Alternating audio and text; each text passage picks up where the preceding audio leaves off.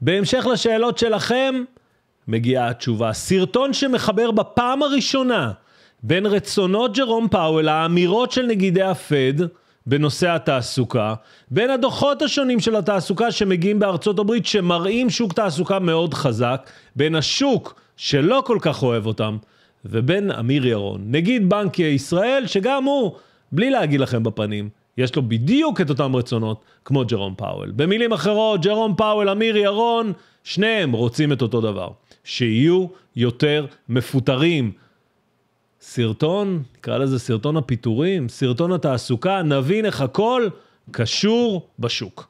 גם בעברית וגם באנגלית, ויותר מזה, אתם תראו שזה אותו דבר. מוכנים לזה? קדימה, מתחילים.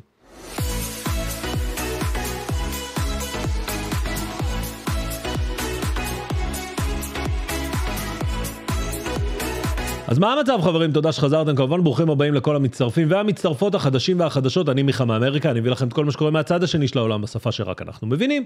כל מה שתראו פה הוא כרגיל, דעתי בלבד, הוא אינו המלצה לפעולה, הוא אינו ייעוץ פיננסי, וכמו שאתם יודעים, הכל נמצא אצלנו בערוץ היוטיוב שמונה 37,900. כן, כן, עוד שנייה נראה גם את ערוץ היוטיוב שמונה 37,900. ואולי בזכותכם, בזכות הסרטון הזה, שאני לא בטוח שכולם ירצו שתראו אותו, נגיע ל-38 אלף. כן, כן, יש לנו פה בערוץ לייבים, סרטונים, חוצצים, ואפילו, בהמשך לסרטון הקודם, אתם תראו שיש אנשים שמנסים להתחזות אליי ולהקים ערוצי טלגרם. נדבר על זה עוד שנייה. את הכל אם אתם רוצים לקחת לצעד הבא. וכן, יש לנו דיסקורד. יש לנו דיסקורד, הוא עשיר בחדשות, בסטאפים, ברעיונות, בשיחות, במה שאתם לא רוצים, והלינק לרישום נמצא פה בתיאור דרך הפטריון. לינק לפטריון. אז שנייה לפני שנדבר על הפיטורים, על הפד, על בנק ישראל, על הכל מחובר ביחד, אני רוצה לחזור לסרטון של אתמול. סרטון של אתמול, אמרתי לכם, זהירות שלא יעקצו אתכם לצפות במיידית. הסיבה שהעליתי את הסרטון הזה, כי הוא דיבר על זה שהקימו, לא יודע ממתי, ערוצי טלגרם שמתחזים אחר הערוץ. אז א', אם לא ראיתם את הסרטון, תראו את הסרטון, זה חשוב מאוד. שנית, בסרטון היה, העלו כל מיני תמונות מהורייזון, אלטשולר שחם. אז הורייזון אלטשולר שחם כמובן, אמרו שזה לא הם. דרך אגב, כמו שאמרתי בסרטון, לא היה לי אפילו ספק. אה, אמרו שזה לא הם, וכמובן הם גם ביקשו מכל המשתמשים שלהם לדווח. אז גם אתם תדווחו בטלגרם שמדובר בזה. לי אין טלגרם. מעכשיו בתיאורים של כל הסרטונים יופיעו הערוצים שכן יש. טיק טוק, טוויטר, אינסטגרם, טלגרם, נייט, אין. סיימנו עם הודעת המערכת? בואו נתחיל. בשבועות האחרונים, בחודשים האחרונים, אנחנו שומעים על הרבה מאוד הודעות פיטורים. אנחנו שומעים על הרבה מאוד חברות שמודיעות שהן עומדות לפטר עובדים. רק ב-48 שעות האחרונות שמענו על אמזון שעומדת לפטר עוד 18 אלף עובדים. שמענו על סיילספורס שעומדים לפטר 10% מהצוות שלהם, שזה בערך בין 6,000 ל-8,000 עובדים. שמענו על גולדמן סאקס שעומדת לפטר, רגע, רגע, איפה גולדמן סאקס? גולדמן סאקס שעומד לפטר 4,000 עובדים, על Vimeo שעומד לפטר 11% מהעובדים שלה, על סטיץ' פיקס שעומד לפטר 20% מהעובדים, ועוד ועוד ועוד, וכמובן יותר מזה, בגולדמן סאקס לוקחים לעובדים את הקפה בחינם. מה? מה? את הקפה אתם לוקחים? סתם, בטח היה להם סטארבקס שם, נו באמת, אל תהיה, יהיה להם את הקפה פרקולטור כמו שיש לכולם.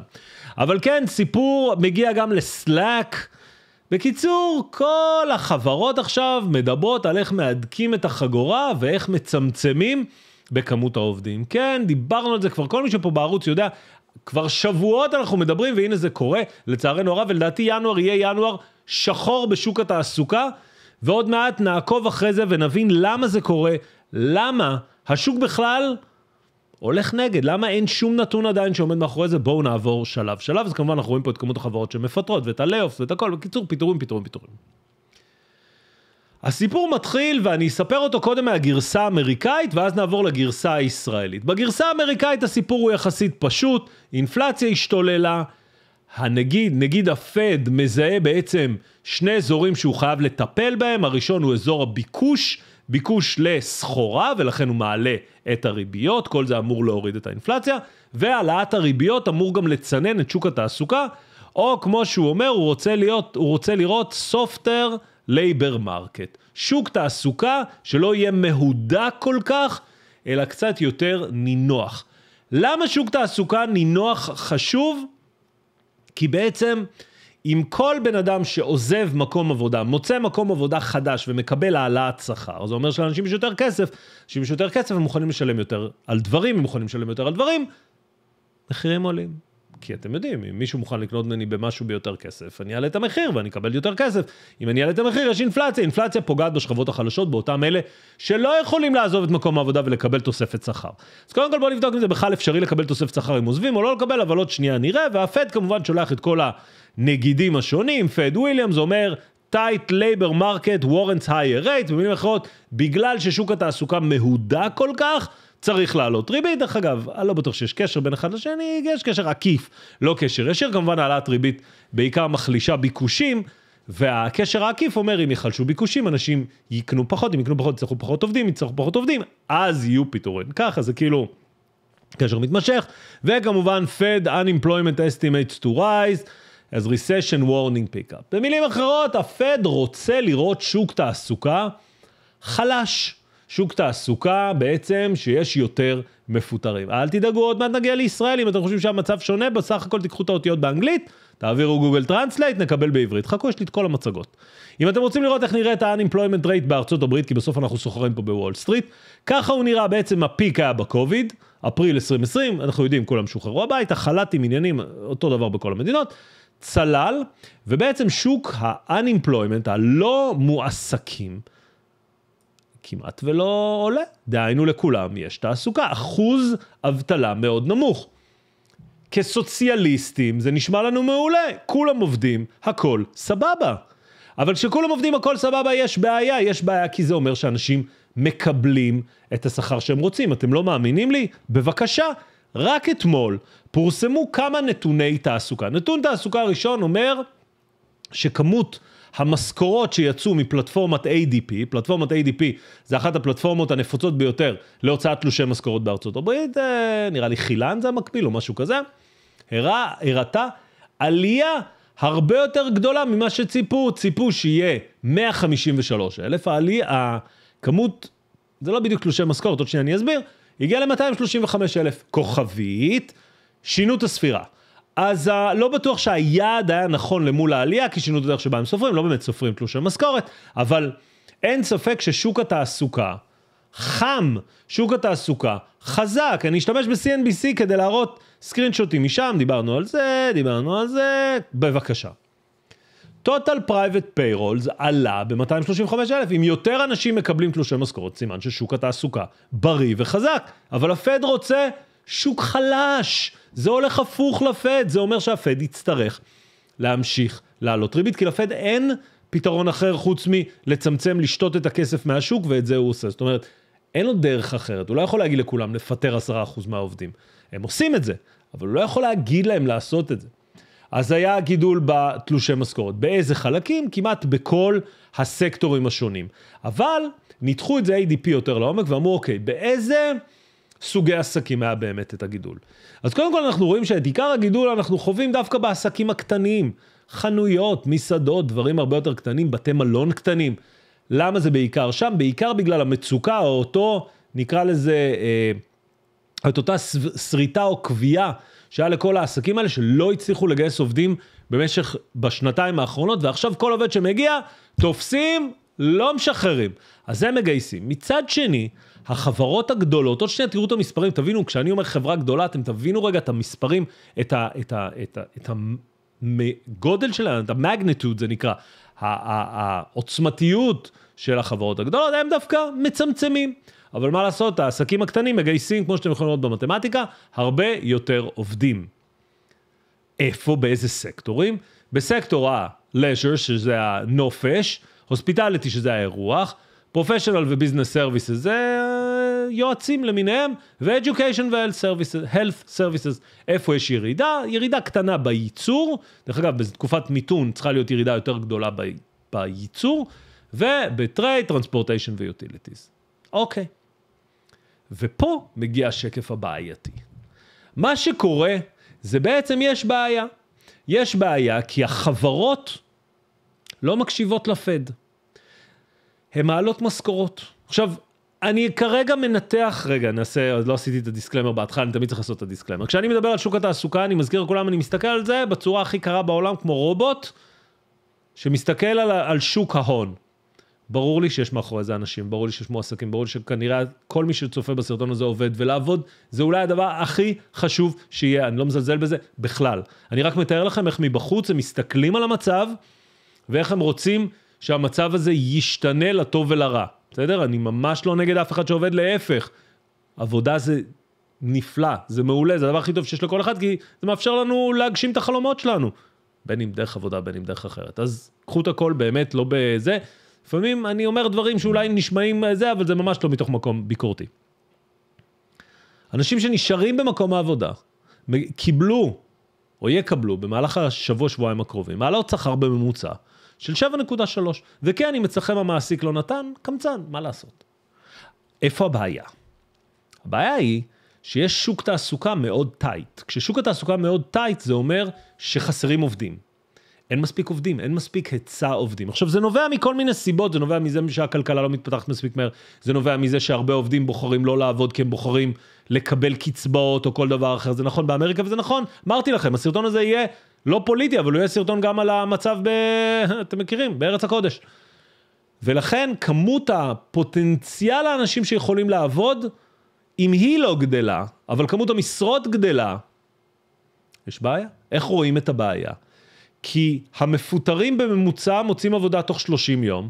יותר מזה, הם גם מקבלים תוספת שכר של 15 אחוז. זאת אומרת שלא רק שהפיטורים האלה לא מרעים את המצב, להפך. סליחה, הם לא מקלים את המצב, להפך, הם מרעים את המצב, כי אותם אנשים מוצאים עבודה אחרת ומקבלים משכורת יותר גבוהה, מקבלים משכורת יותר גבוהה, מתדלקים את האינפלציה. הבנתם כבר את הקטע. זאת אומרת שבין החברות לבין הפד כרגע, אין הלימה. לא חותרים לאותו כיוון, ואם לא חותרים לאותו כיוון, יש לנו בעיה.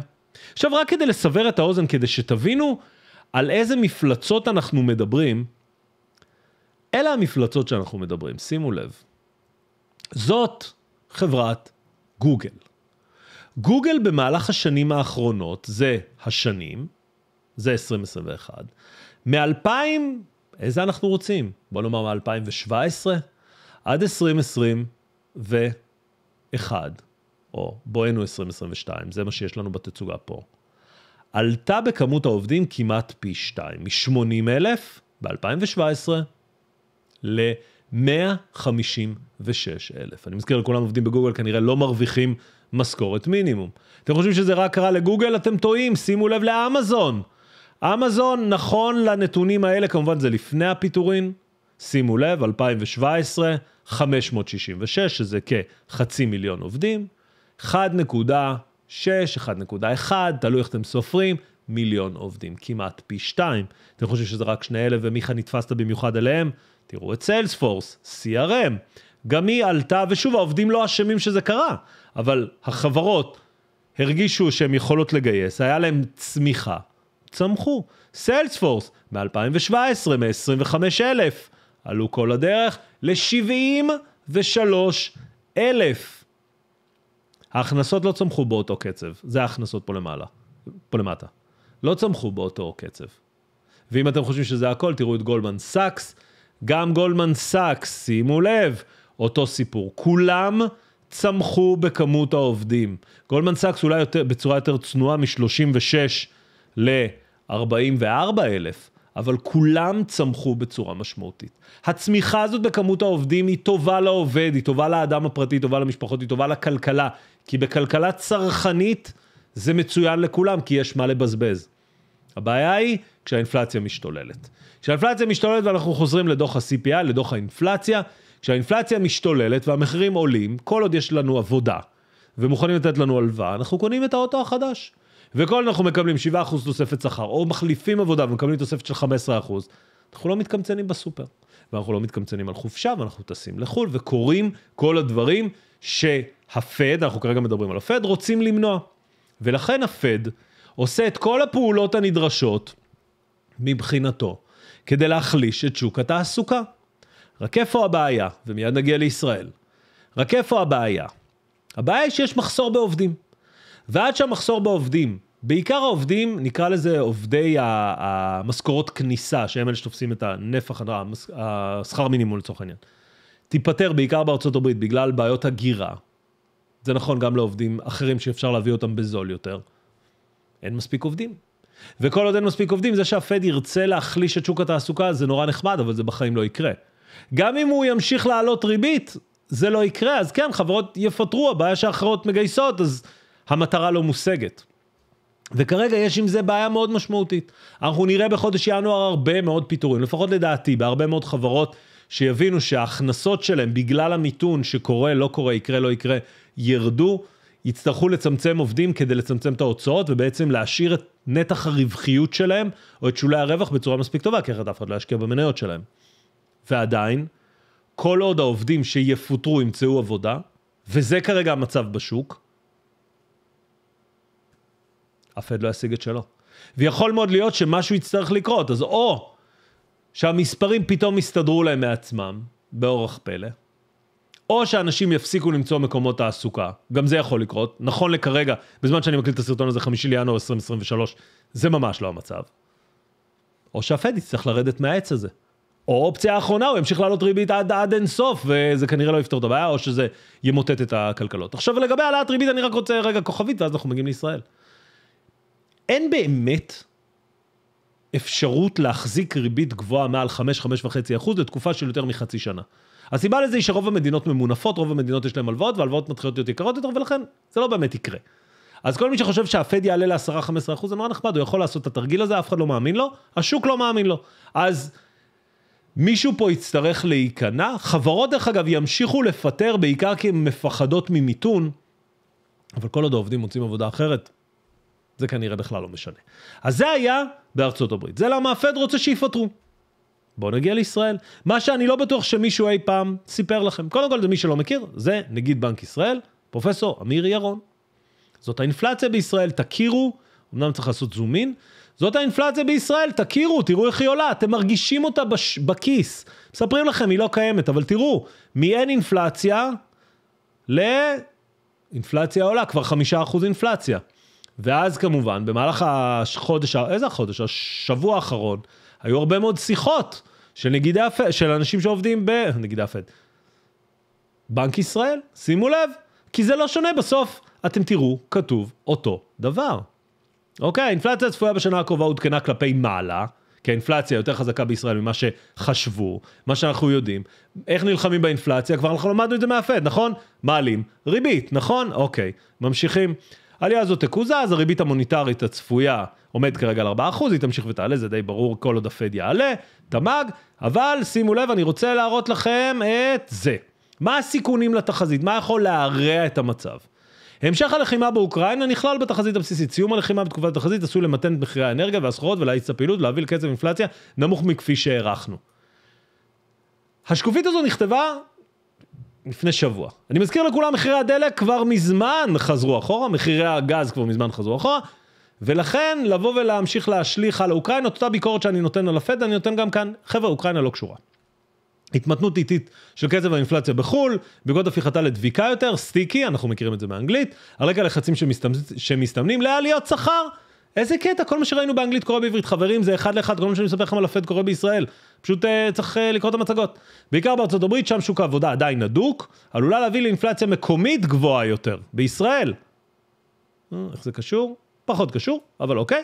האצה במחירי האנרגיה כגון על רקע חורף קרמה הצפוי, בעיקר באירופה, עלול להשפיע כלפי מעלה על קצב האינפלציה הצפוי כלפי מטה על הפעילות. אירופה כרגע קרה, אה, כרגע חמה, אנחנו רואים את זה גם. המשך הקלת מדיניות הקורונה, בסין צפויה להגביר את הפעילות בעולם והסחר. אז תראו, קודם כל הסיכונים הגלובליים לא באמת מדויקים, אני אגיד לכם כבר, הם אחלה בולטים, חצי מהם בכלל לא קשורים ולא זה, סליחה שאני מעביר ביקורת, אבל זה המספרים מהגרפים שאנחנו רואים. דלק כבר לא יקר, גז כבר לא יקר ואירופה חמה, אז זה זה, אבל זה אותם בעיות בדיוק שאנחנו רואים עם הפד.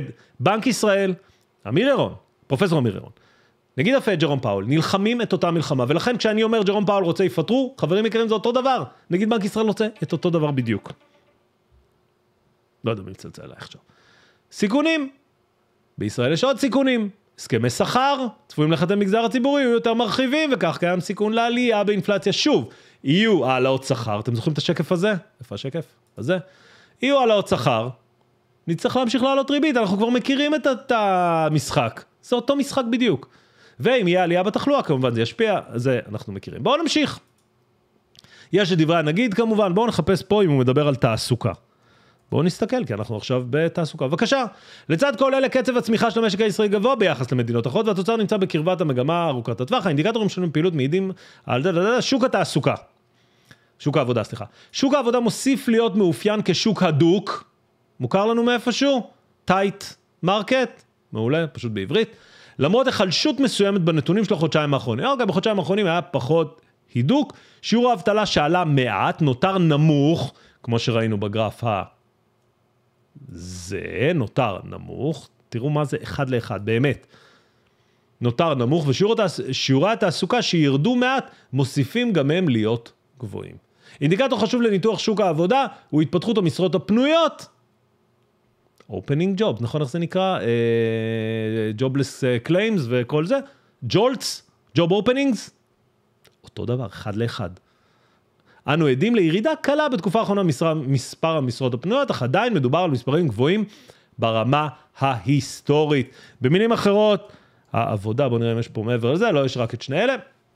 במילים אחרות, אין הבדל בין מה שאתם שומעים על הפד ומה שהפד מתכוון לעשות לבין מה שעומד לקרות בישראל ולכן זה מאוד מאוד חשוב לדעת ולהכיר את זה כי אין שום הבדל אתם יכולים להיכנס באתר של בנק ישראל לראות את כל הדברים האלה יש להם פה תחזיות ו- וכל הדברים האלו אז זה כרגע המצב כרגע המצב הוא שהפד ובנק ישראל שניהם ואתם יודעים אני לא פוליטיקאי אני לא מתעסק בפוליטיקה לא נכנס להבטחות כאלה ואחרות המספרים מראים שניהם ימשיכו לעלות ריבית, ועד שהם לא ישברו את השווקים, וכשהם ישברו את השווקים, הם רוצים להגיע למצב שהתעסוקה תיחלש. איך אתם יכולים להתמודד עם זה? קודם כל, אתם יודעים, להיות עובדים טובים, זה אחד. שתיים, לא להיבהל. למה לא להיבהל? כי נכון לנקודת זמן זו, השוק עדיין הדוק. זה אומר שכל מי שמפוטר, מוצא עבודה. ולכן בש... בימים הקרובים גם אני אעלה סרטון איך אפשר להיעזר בכל מיני כלים כדי לשכלל, להשתכלל ואולי לקבל את ה-15% תוספת, מה רע? אנחנו לא רק בשליליות, אנחנו גם בחיוביות. ואנקדוטה לסיום. אתם יודעים, גם אנחנו פה עברנו על סוויטה, על מייק ווילסון, על אה, אה, תום לי, על פורו, על מרקו קולנוביץ', עברנו על כל האנליסטים האמריקאים. באה ענת ואמרה לי, מיכה, שווה שתראה, סליחה, תמי, אמרה לי, שווה שתראה, תודה תמי, שווה שתראה לצופים גם מה חושבים האנליסטים בישראל. אז בואו נסתכל מה חושבים האנליסטים בישראל. אתם מוכנים? זה מה שהם חושבים. האנליסטים בישראל חושבים את הדבר הבא, ודרך אגב השמות שנתתי לכם שמות שהמצאתי לגמרי, ראיתם שקפצתי בין שמות כי אין לי מושג אפילו מי שלח לי את זה. שימו לב, בית ההשקעות אפסילון מעריך שה-S&P 500 יסיים את 2023 ב-4,300. לאומי שווקי הון או שוקי הון, 4,200. פסגות, 4,200, כל זה זה ביחס לנקודות מדד הנוכחיות. שערי הדולר, ריבית, שימו לב, כולם מעריכים שריבית תחלש קצת, ואינפלציה תרד. למה? לא יודע. אלטשולר, מעריכים את ה-S&P 4,310. אנליסט מעריכים את ה-S&P ב-4,050. תמיר פישמן, 4,600. מיטב, 4,400. מגדל, שווקי הון, 4,315. פעילים, 4,380. ולידר שווקי הון, 4,000.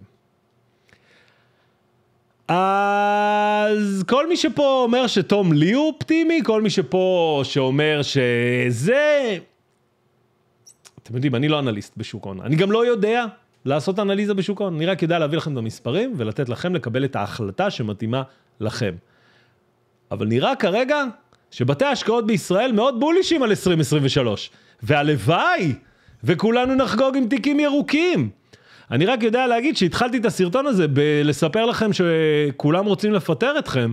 מצד שני, בתי ההשקעות בישראל אומרים, אם יפטרו את האנשים, זה אומר שהבורסה תעלה. אז אם יש קשר בין פיטורים המח... למחיר ה-S&P בסיום השנה, האם באמת נסיים בעלייה של 14%? האם באמת יפטרו כל כך הרבה? דבר אחד אנחנו כן יודעים להגיד, שזה שאנחנו מדברים על ג'רום פאוול ועל הפד, זה בסך הכל אנחנו אומרים את אותם מילים באנגלית שהיינו יכולים להגיד עם אמיר ירון ובנק ישראל, כי כולם מתמודדים עם אותה בעיה, עם, עם אינפלציה שחייבים למגר אותה, ועם שוק תעסוקה שהוא מאוד מאוד הדוק, וכשיש שוק, שוק תעסוקה מאוד מאוד הדוק, כי אין עובדים, כי יש לא מעט אנשים שלא עובדים במדינות שונות, יש בעיה, ושוב זאת לא, זה לא סרטון פוליטי. באמת, זה בעיה, כי כשאני אומר אנשים לא עובדים, אנשים בחרו לעשות עבודות אחרות, לא ישר ללכת למקומות שממש לא התכוונתי להם. אני מקווה שנהנתם מהסרטון הזה, אני מקווה שזה הסביר לכל מי ששאל למה שוק תעסוקה חזק זה לא טוב. בשורה אחת, כי זה לא מה שהפד רוצה, ואנחנו לא רבים עם הפד. אם נהנתם, אני ממש אשמח שתפרגנו בלייק. כמובן תשתפו ותעבירו, אתם יותר ממוזמנים גם להעביר את הסרטון הזה לעוד ועוד אנשים, כי אין בו באמת מניה ספציפית. יש בו בעיקר הסתכלות רחבה על מה עומד לקרות בחודש, חודשיים, שלושה הקרובים. וכן, אני חוזר ואומר, לדעתי ינואר יהיה ינואר מאוד קשה בגזרת התעסוקה, כי אם הוא לא יהיה, אנחנו נמשיך לראות פד ניצי שממשיך לעלות ריבית. ואם סוף סוף הפד יקבל את מה שהוא רוצה, שזה אינפלציה יורדת, שזה כבר ראינו, ושוק תעסוקה נחלש, שאת זה אנחנו עוד לא רואים, אולי סוף סוף נוכל להכריז The bottom is in. התחתית נכנסה. עד הוידאו הבא, עד הלייב הבא. תודה רבה, אני מיכה מאמריקה, ואין לי טלגרם. יאללה ביי.